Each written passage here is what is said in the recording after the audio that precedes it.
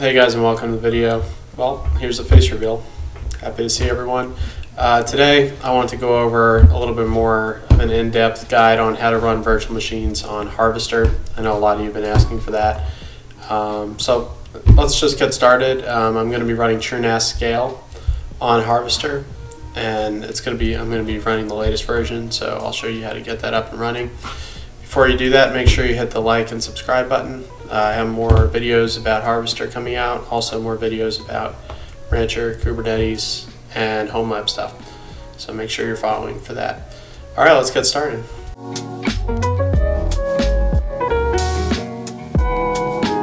So if you followed my guide on how to install Harvester, um, you know that this will be the, what you're going to be greeted with when you first log into your Harvester dashboard.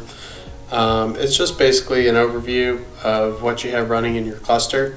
Um, right now I have a cluster of one machine, uh, one bare metal server.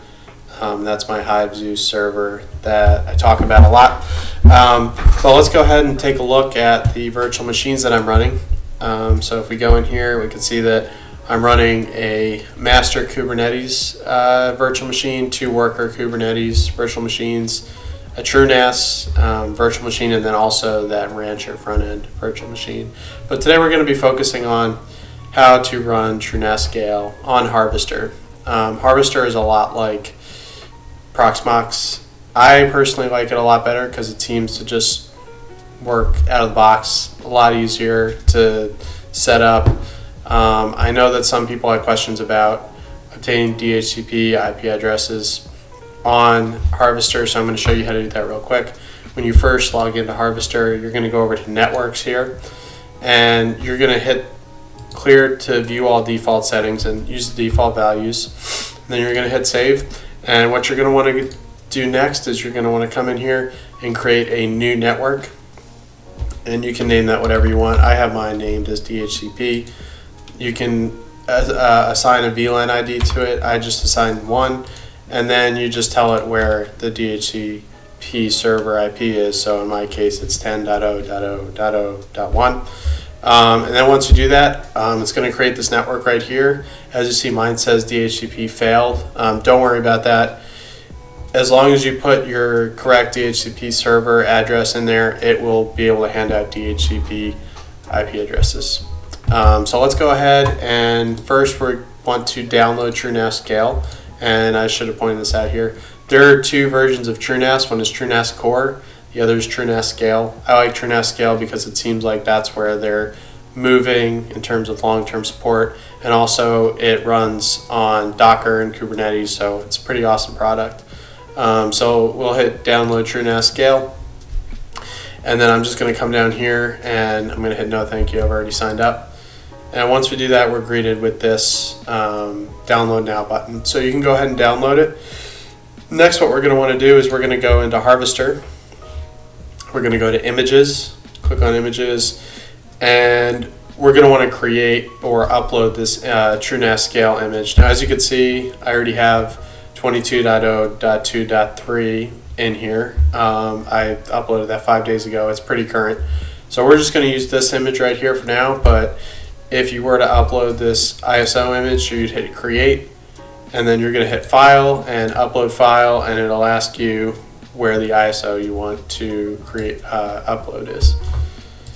So we're not going to worry about that for now. Let's go ahead into virtual machines on our Harvester dashboard and we're going to click create up in the top right corner. And we'll just give this a second to boot up. All right, and if you, um, one thing I would like to point out is that you can create namespaces for your virtual machines. This is the idea um, of namespaces in Kubernetes, but for virtual machines. It's it's pretty nifty. You can, you know, categorize it by stage, prod, dev, or you can categorize it by, you know, home lab or uh, work or stuff like that. I just use the default namespace. Um, so what we're going to do is we're going to give this a name, TrueNAS scale. I have uh, 32 cores on the server, so I'm fine with allocating it six CPU cores and six gigs of RAM. I believe what they want you to have is 8 gigs of RAM minimum, but it still runs fine with that. Um, another thing that we're going to want to upload is our SSH key. You when you're first greeted here, you won't have that default SSH key. That's one that I uploaded, but you can hit create new, paste your public key in there, and you'll be able to use that in the future. I'm just going to choose the default one for now, which is one that I uploaded and named default. Now here's where it gets a little tricky. Um, you're going to want to add three volumes, and you can add more than three volumes, but minimum we're going to want to do three volumes. So first we're going to want to choose TrueNAS Scale as the image, and we're going to change this to CD-ROM. This is essentially like a uh, removable, bootable USB drive that we're creating, but CD-ROM. Uh, next, we're going to add a volume here. And sometimes there's an issue where it'll change this back to uh, disk, but looks like it's fixed in this version. What I'm going to name this is I'm going to name this boot. And this is the volume that we're going to be installing the boot drive, or we're going to be installing TrueNAS Scale to. And you're going to want to keep this as disk and change it to SATA. We're going to add another volume, and that volume is going to be called data. This will be our first data pool.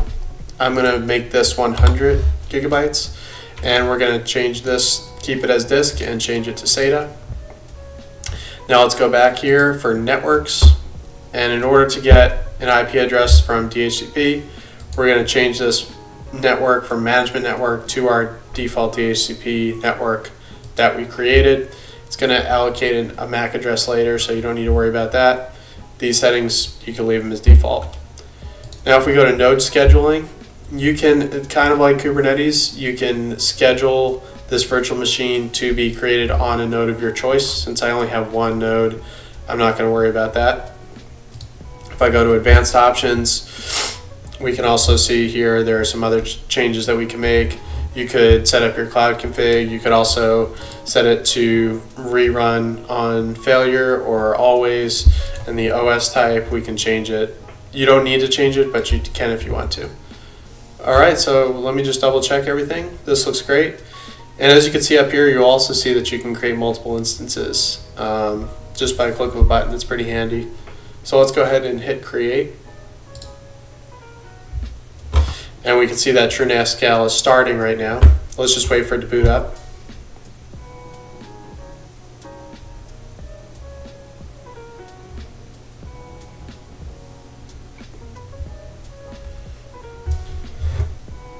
Have a sip of water.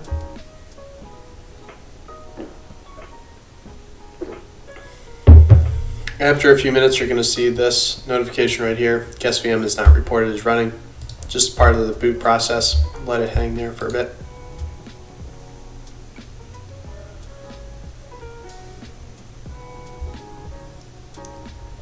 We can see that it's been scheduled to this node, our harvester node. That's what I named this node.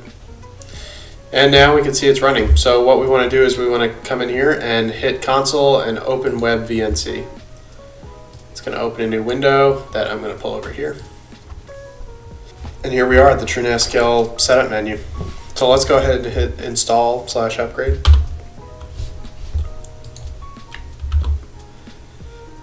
Computer has less than the recommended 8 gigs of RAM. I already mentioned that. You should go with 8 gigs if you want to. I'm not going to be keeping this virtual machine, so I don't need to worry about that. And this is going to ask you where you want to install TrueNAS to. Now, like we said before, we made a 10 gig boot um, volume, so we're going to want to install that by hitting space. Do you want to erase all permissions? Yes. Here you create a password.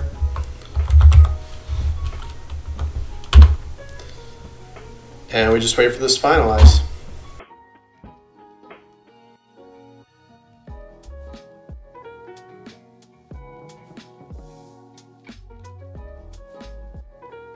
taking a little longer than it usually does. While we're waiting for that to install, I would like to note one thing. If you go into volumes, you're going to see all the volumes that I've created um, for virtual machines, or in the case um, of TrueNAS Scale, this is the CD-ROM bootable disk that we made of the ISO image. Um, so after we're done with that, we are going to be able to delete this image right here for this volume. Um, and yeah, just make sure you delete that volume because it'll save up, you know, 10 gigs of space. let's go back to the virtual machine, see if we're done yet.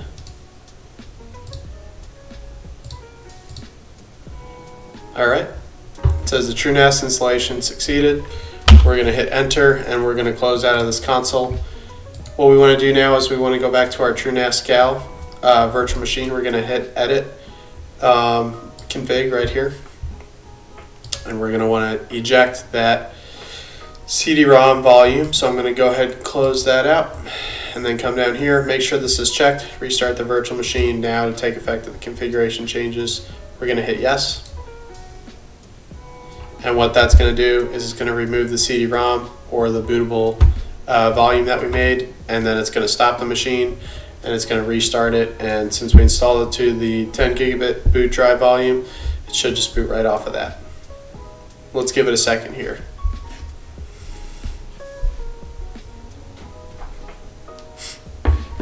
We can see that the TrueNAS scale is starting again on the harvester node. And we can see it's running.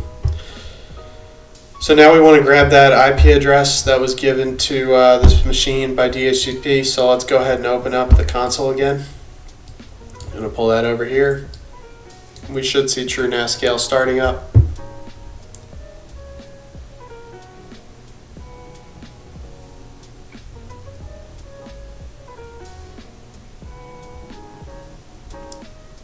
And this should take a minute or so.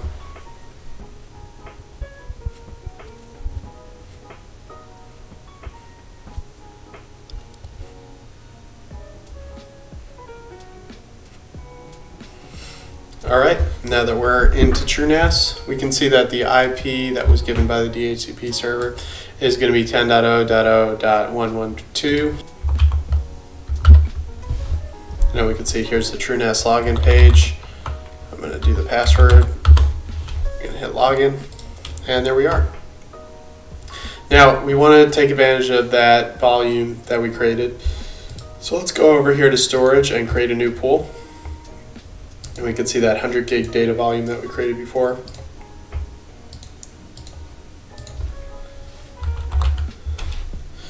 And we'll go ahead and hit create. Just like that, we have our first data pool, which is 100 gigs. Uh, yeah, TrueNAS scale on uh, Harvester is, runs really, really well. As a matter of fact, I use it as my NAS for um, editing videos off of very, very solid uh, build. Um, so what I'm going to do now is I'm going to show you how to delete this virtual machine. So we're going to close out of here. And all I have to do here is check it right here and we're going to hit delete. Make sure you delete the volumes as well. Otherwise there'll be unwanted volumes that you're not doing anything with. And if we go into the volumes, you can see that these will get deleted in just a moment. There we go. And the CD-ROM uh, disk that we created before needs to be deleted manually, so we'll go ahead and delete that. And just like that, we spun up a TrueNAS scale server and we spun it down real quick. Um, Harvester is super easy to learn. Not you really can't mess up anything when it comes to Harvester. I would definitely recommend it if you want to know how to install Harvester and run a Rancher Kubernetes cluster on Harvester. I would suggest going to look at my video, which should be up at the top corner, I think. But anyway, other than that, that's been it, guys. Hopefully you liked this video. If you did, like I said, please leave a like and subscribe. See ya.